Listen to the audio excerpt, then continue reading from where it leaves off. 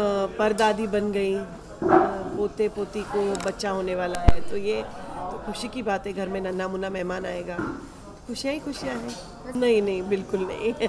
कोई सस्पेंस नहीं है। ये एक्चुअली खुशी का माहौल है। और इतनी खुश हो गई है गौरा कि वो उसकी खुशी ऐसे ही व्यक्त करती है। वो वैसे भी नाचती है, झूम उठती है, गाती है। तो इसी तरह वो अपने खुशी ज़ाहिर करती है। एक बात तय है कि बच्चा आने से घर में तो खुशहाली आ जाएगी और अभी तो सब लोग बहुत खुश हैं, इसलिए भगवान करे ऐसी खुशी बनी रहे।